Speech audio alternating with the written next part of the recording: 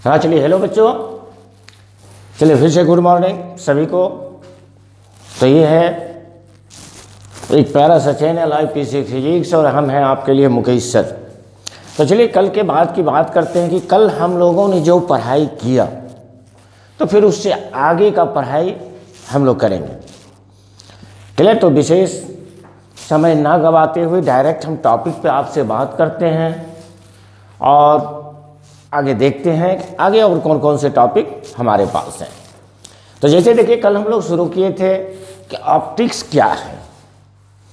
तो ऑप्टिक्स के बारे में हमने सीखा, क्या सीखा था कि यह आपका जो है फिजिक्स का ब्रांच है, जिसमें हम लाइट के प्रॉपर्टीज़ लाइट के नेचर लाइट के इफ़ेक्ट विजन तो इन सब के बारे में अध्ययन करते हैं। क्लियर तो इसे हम ऑप्टिक्स कहते हैं।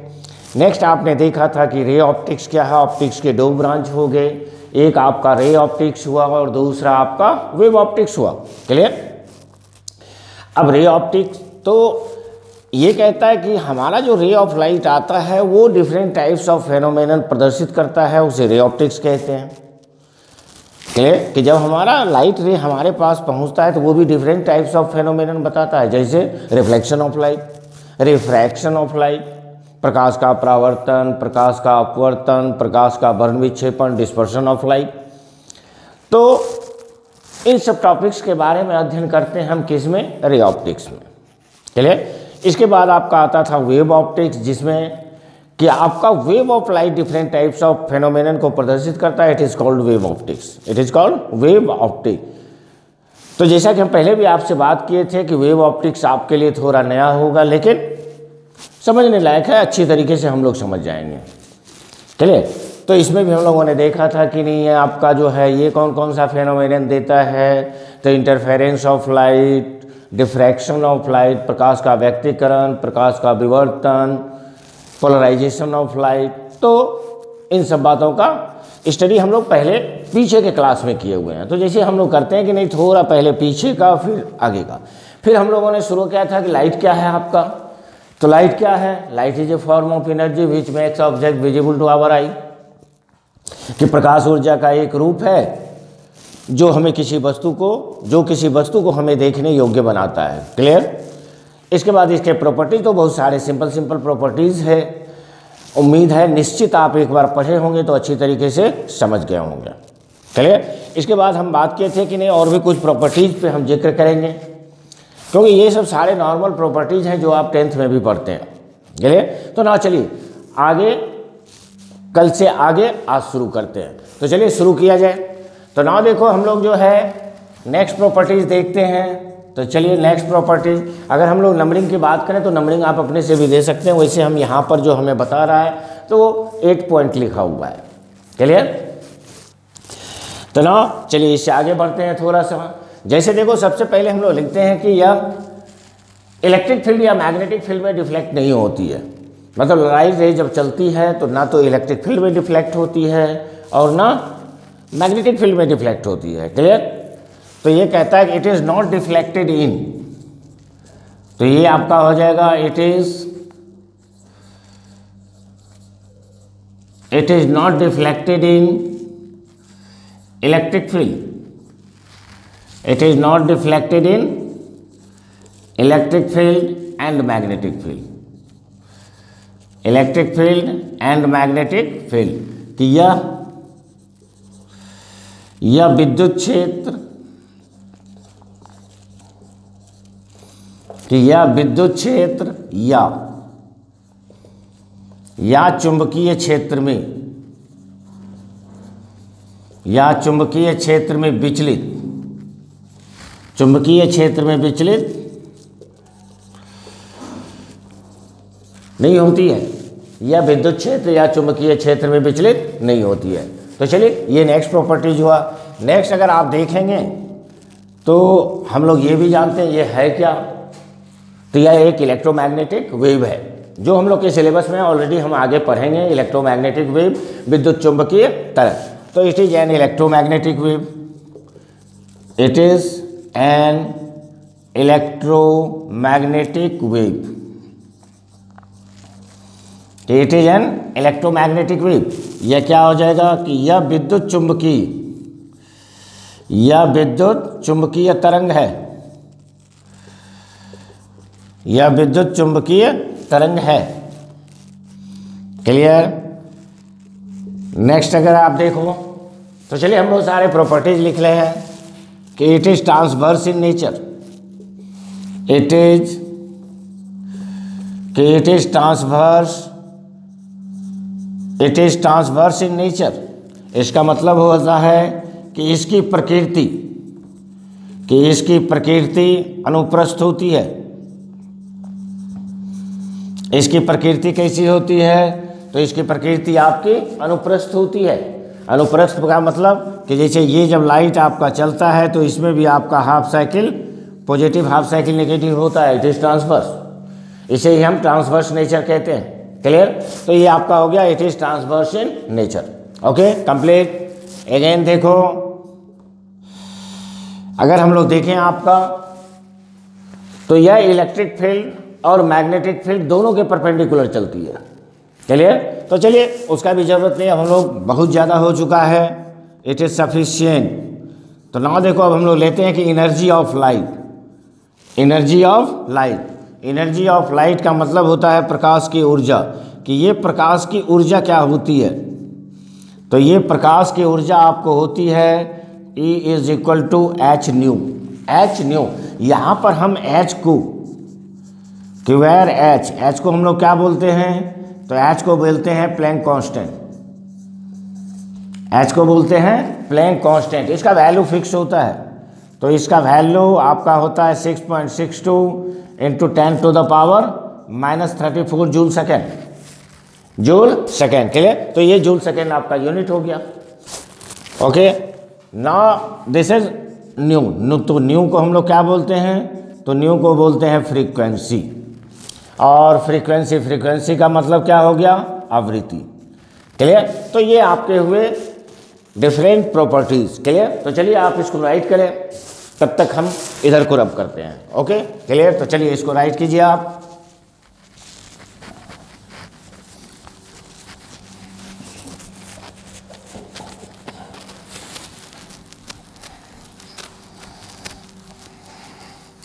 और सारे का जिस तरीके से जब भी आप क्लास देखने के लिए बैठे तो कॉपी और कलम के साथ बैठे। क्लियर? ताकि आप इसको अच्छी तरीके से लिख पाएँ, नोट्स बना पाएँ। क्योंकि पहले भी हम आपको बताएँ कि अगर आपके पास नोट्स रहेगा तो आप आगे भी पढ़ पाओगे। क्लियर? तो चलिए अब हम इसको रब कर देते हैं। और लिखने का भी तरीका कि जहाँ पर भी आपको लगे कि नहीं, हम पीछे छूट रहे हैं, साथ नहीं चल पा रहे हैं तो वीडियो को पॉज करें और फिर उसे लिखें। फिर आगे बढ़ें। ओके? कंप्लीट? तो चलिए, यहाँ तक आपका हो गया होगा। ना चलिए, हम आगे बढ़ते हैं। तो ये थे आपके properties of light clear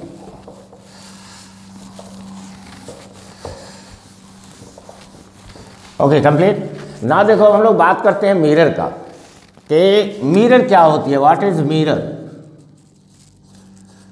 mirror और इसे हिंदी में हम लोग क्या बोलते हैं? तो इसे हिंदी में बोलते हैं दर्पण।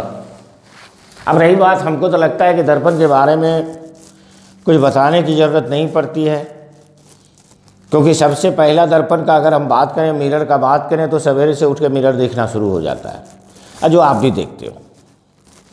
ओके कंप्लीट तो आखिर मिरर है क्या? अगर हमें कोई पूछ देता है कि नहीं प्लीज़ डिफाइन क्या आप इसको डिफाइन करें कि मिरर है क्या? व्हाट इज़ मिरर तो मिरर कुछ नहीं आपका, ये कहता है, ये ग्लास का स्मूथ थीन फ्लैट एक टुकड़ा है, एक शीशे का टुकड़ा है, जिसका एक तरफ़ क्या होता है? एक तरफ़ पॉलिश होता है। एक तरफ़ पॉलिश होता है। इसे हम क्या कहते हैं? इसे मिरर कहते हैं। इसे मिरर कहते हैं। तो चलिए, सबसे पहले तो हम लोग सारे बेसिक्स को अच्छी तरीके से जान लेंगे तो फिर आगे भी पढ़ाई करने में हमें बहुत अच्छा रहेगा। तो ना देखें मिरर मिरर है क्या? मिरर आपका होता है कि it is a it is a thin thin flat and smooth and smooth sheet of glass कि smooth sheet of glass whose whose one side whose one side is silver whose one side is silver whose one side is silver clear और जहाँ भी लगे कि नहीं, थोड़ा नज़र नहीं आ रहा है या अच्छी तरीके से हमको दिखाई नहीं आ रहा है तो उस स्थिति में आप कमेंट बॉक्स रहता है। कमेंट बॉक्स में कमेंट करें। कि सर हमको अच्छी तरीके से दिख नहीं रहा है। तो फिर और भी उसे हम थोड़ा बड़ा करने की कोशिश करेंगे। ओके कंप्लीट तो कहता है whose one side is silver कहने का मतलब ये हुआ कि यह कि यह शीशे का शीशे का एक पतला समतल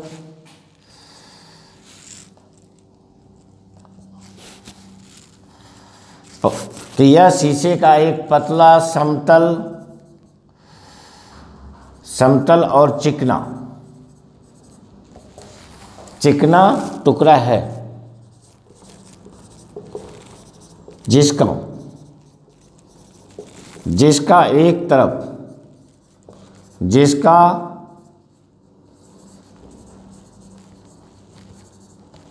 जिसका एक तरफ़ सिल्वर रहता है।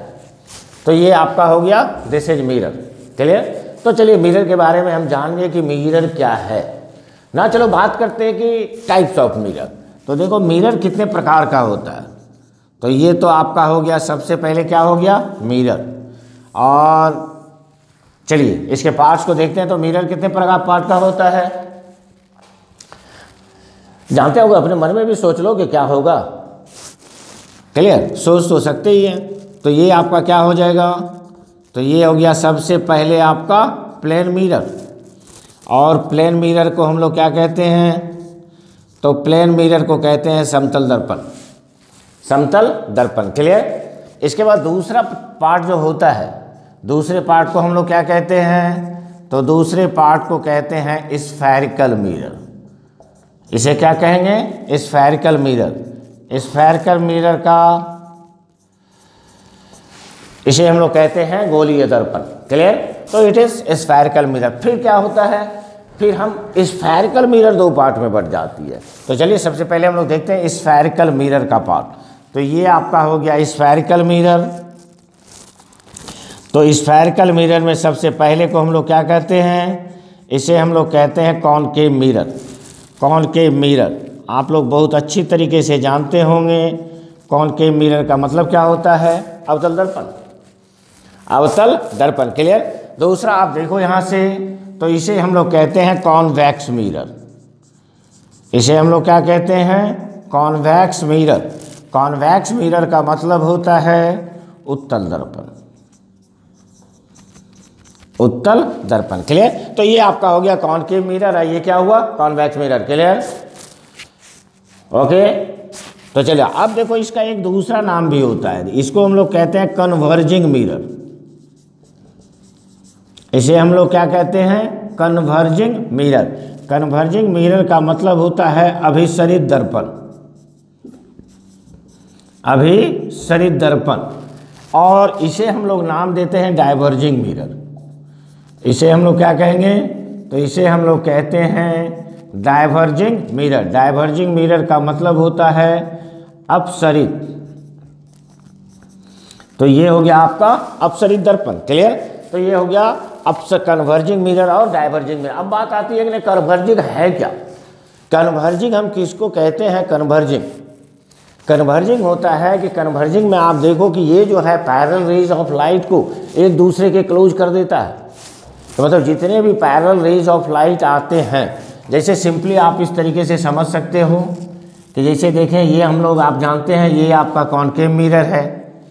क्लियर यहाँ से जितनी भी पैरल रेज ऑफ़ लाइट आती है, इस तरीके से ये एक दूसरे के करीब आ जाती है। एक दूसरे के करीब आ जाती है। तो इसे हम लोग क्या कहते हैं? कन्वर्जिंग मिरर कहते हैं। और डाइवर्जिंग का अगर आप बात करो तो जैसे देखो, ये यहाँ पर क्या है आपका? ये डाइवर्जिंग मिरर है। अब यहाँ से जो भी लाइट आती है तो ये इस तरीके से आपका होती है। बात समझ गए? तो अगेन देखो, ये क्या होता है कि ये यहाँ पर लाइट को फैला देता है और दूर चला जाता है। तो इसे हम डाइवर्ज कहते हैं। अब कन्वर्ज का मतलब क्या हुआ? एक जगह आके मिल जाता है। इट इज़ कॉल्ड कन्वर्जिंग चलिए बात समझ गए होंगे? तो ये आपका हुआ डाइवर्जिंग मिरर और कन्वर्जिंग मिरर क्लियर तो डाइवर्जिंग मिरर और कन्वर्जिंग मिरर क्लियर कहीं कोई दिक्कत नहीं? ओके तो चलिए इसके बाद। इसके बाद फिर आगे देखते हैं कि हम लोग सारे का डिफाइन अगर करें तो चलो प्लेन मिरर। तो plane mirror. Plane mirror. Plane mirror का जैसा आप जानते हैं, इसको हम लोग क्या कहते हैं? तो इसे कहते हैं समतल दर्पण। प्लेन मिरर का मतलब क्या हो गया? समतल दर्पण। क्लियर अब देखो, प्लेन मिरर क्या होगा? तो प्लेन मिरर में आप बोल सकते हो, प्लेन मिरर है क्या? यही जो आप लिखे हुए a thin flat and smooth sheet of glass whose one side is silver कहीं कोई अंतर डेफिनेशन में कोई अंतर नहीं आएगा। क्लियर तो यहाँ पे आप देख सकते हैं आराम से ए थिन कि a thin flat and smooth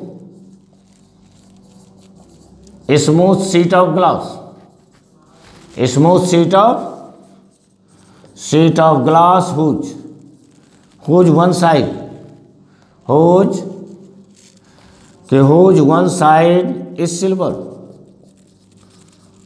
one side is silvered is called is called plane mirror इसे हम लोग क्या कहेंगे? तो इसे प्लेन मिरर कहते हैं। इसे प्लेन मिरर कहते हैं। बात समझ गए होंगे? तो ये हुआ कि एक पतला एक पतला समतल। एक पतला समतल और चिकना। और चिकना शीशे का टुकड़ा, जिसका जिसका एक तरफ़, जिसका एक तरफ़ सिल्वर रहता है, जिसका एक तरफ़ सिल्वर रहता है। चलो, समतल दर्पण कहते हैं। तो इसे हम लोग क्या कहते हैं? तो इसे समतल दर्पण कहते हैं। चले तो चलिए प्लीज़ यहाँ तक राइट करें।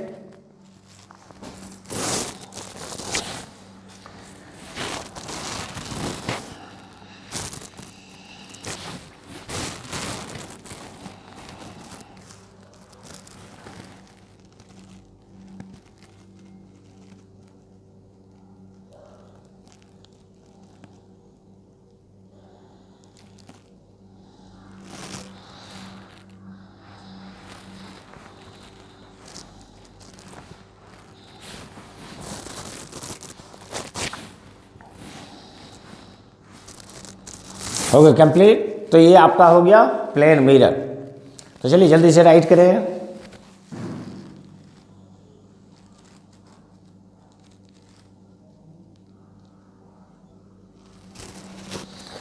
तो चलो इधर से रब करते हैं।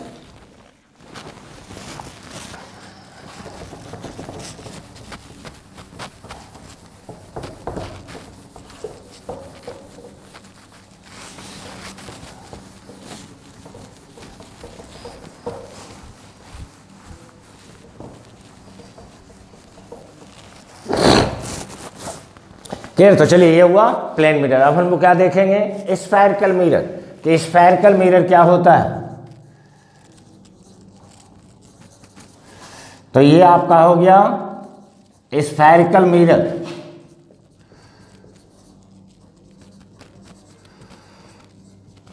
स्फेरिकल मिरर गोलीय दर्पण। स्फेरिकल मिरर तो स्फेरिकल मिरर हम किसी कहते हैं?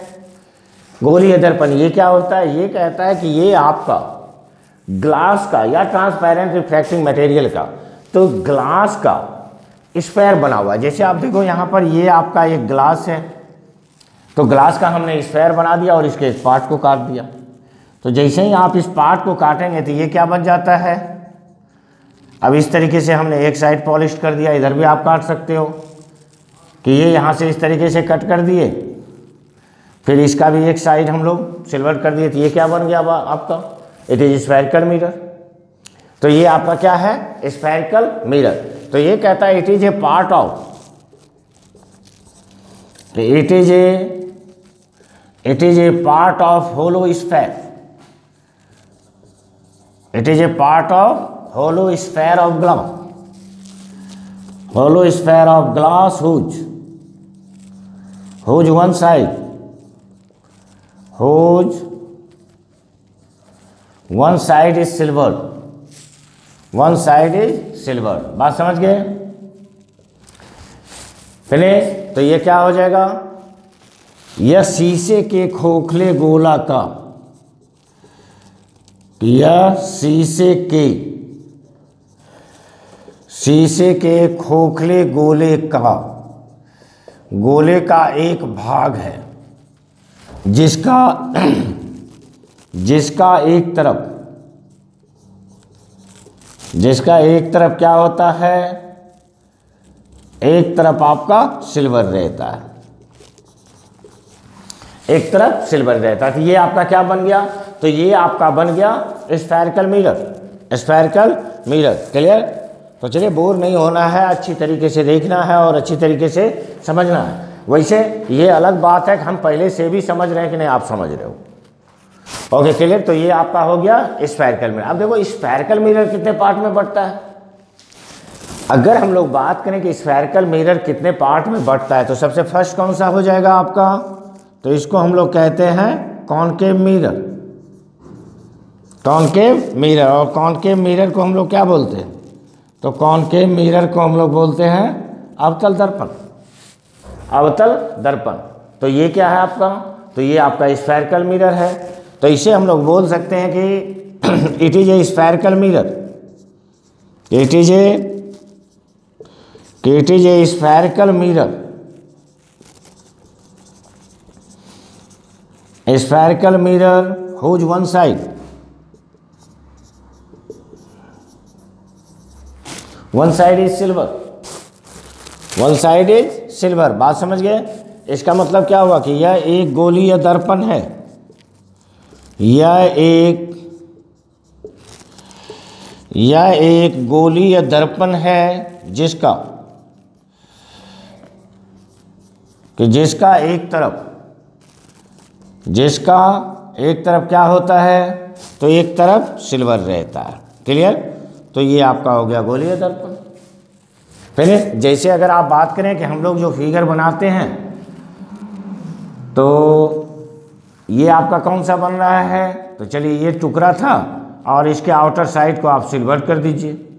तो आउटर साइड को सिल्वर कर देते हैं तो ये क्या बन जाता है? इसी को हम लोग कहते हैं कॉनकेव मिरर चलिए तो ये हो गया आपका कॉनकेव मिरर फिनिश निश्चित, समझ गए।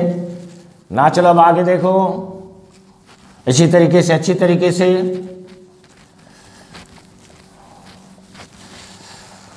और थोड़ा शांति से पढ़ रहे हैं तो थोड़ा अच्छा भी लग रहा होगा। तो चलिए आराम से थोड़ा थोड़ा सीखेंगे। चलिए तो अब दूसरा क्या हो जाता है आपका? तो इसको हम लोग कहते हैं कॉन्वैक्स। इसे हम लोग क्या कहेंगे? Convex mirror. कॉन्वैक्स मिरर का मतलब होता है उत्तल दर्पण। उत्तल दर्पण। चलिए, और बहुत जल्द आपको, आप, हम आपको अच्छे अच्छे टॉपिक्स पर भी पहुंचाएँगे। चलिए तो ये हुआ कॉन्वैक्स मिरर अब कॉन्वैक्स मिरर किसको कहते हो? जिसका अंदर वाला सतह पॉलिश रहता है। जिसका अंदर वाला सतह पॉलिश रहता है। सोचिए या बोलिए, अपने मन में बोलिए, लेकिन बोलिए। बात समझ गए? तो ये कहता है कि ये भी क्या है आपका? तो ये भी आपका कि it is a spherical mirror it is a it is a spherical mirror whose whose inner side whose inner side कि whose inner side is silver silvered is called चलो हटाओ कॉल काय के लिए? बात खत्म. क्लियर तो यह क्या हो जाएगा? यह एक गोलीय दर्पण है।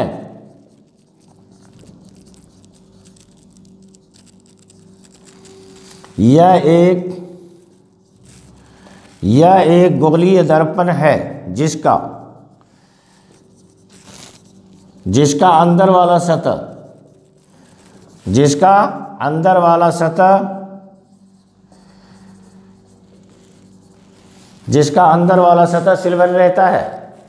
जिसका अंदर वाला सतह सिल्वर रहता है क्लियर तो ये क्या बन गया आपका? कॉन्वैक्स मिरर ये बन गया आपको कॉन्वैक्स मिरर क्लियर तो चलिए, अब इसका भी फिगर देख लेते हैं। तो ना देखो, ये बना दीजिए। और ये आपका हॉलो स्फेयर ऑफ़ ग्लास का एक पार्ट है, एक टुकड़ा है, जिसके अंदर वाले सतह को क्या करते हैं? पॉलिश कर देते हैं। क्लियर तो ये हो गया आपका स्फेरिकल मिरर और स्फेरिकल मिरर का दोनों पार्ट पहला कॉनकेव मिरर और दूसरा कॉन्वेक्स मिरर दूसरा कॉन्वेक्स मिरर क्लियर तो चलिए, ये था आपका मिरर का पार्ट आज आप देखें कि नहीं? बचे हुए कुछ लाइट के प्रॉपर्टीज़ और बाकी हम लोगों ने देखा कि नहीं मिरर क्या होता है? मिरर कितने प्रकार का होता है? है तो बहुत सिंपल टॉपिक लेकिन सिंपल टॉपिक भी पढ़ना चाहिए, क्योंकि जब हम सिंपल को अच्छी तरीके से पढ़ते हैं तो आगे जाके वो और भी सिंपल हो जाता है। क्लियर? तो ये हो गया आपका कॉन्वैक्स मिरर। क्लियर? कहीं कोई दिक्कत नहीं। ना चलो हम लोग बात करते हैं अब रे ऑफ़ लाइट। तो ये आपका क्या हो जाएगा? रे ऑफ़ लाइट। तो रे ऑफ़ लाइट का मतलब होता है प्रकाश किरण। प्रकाश किरण। रे ऑफ़ लाइट बोले या लाइट रे बोले। तो दोनों का मतलब क्या है आपका? रे ऑफ़ लाइट। तो रे ऑफ़ लाइट को हम लोग क्या हिंदी में बोलते हैं? प्रकाश किरण। ओके कंप्लीट समझ रहे होंगे? और हम लोग आपसे पहले भी बात किए थे, इसके पहले क्लास में भी किए थे कि रे ऑफ़ लाइट हम कहते किसको हैं? तो चलिए, किसे कहते हैं रे ऑफ़ लाइट तो कहता है the path followed by the light तो ये आपका हो जाता है कि द पाथ कि the path followed by the light path followed by the light is called is called is called ray of light path followed by the light is called ray of light कि प्रकाश जिस रास्ते पर गमन करती है, उसे प्रकाश किरण कहते हैं। कि प्रकाश जिस रास्ते पर तो ये आपका हो गया कि प्रकाश जिस रास्ते पर, कि प्रकाश जिस रास्ते पर गमन करती है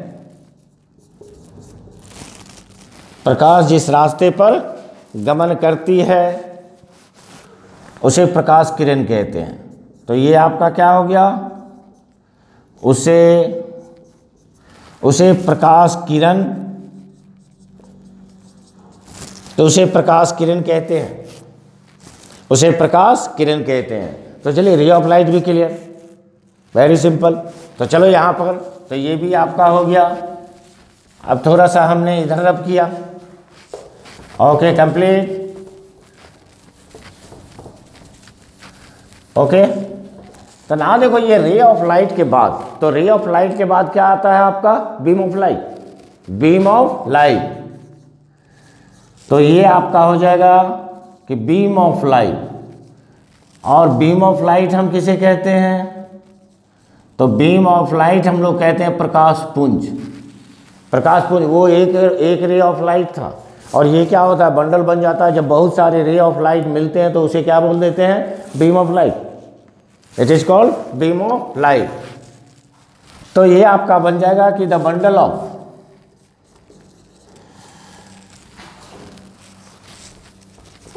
a bundle of ray of light a a bundle of a bundle of ray of light is called is called beam of light तो इसे हम लोग क्या बोलते हैं? तो ये आपका हो जाता है बीम ऑफ़ लाइट क्लियर मतलब प्रकाश किरण के समूह को।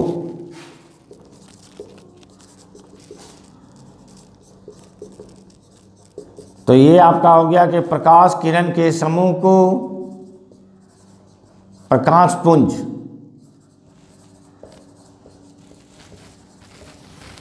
प्रकाश किरण के समूह को प्रकाश पुंज कहते हैं। क्लियर? तो ये आपका हो गया प्रकाश पुंज कहते हैं।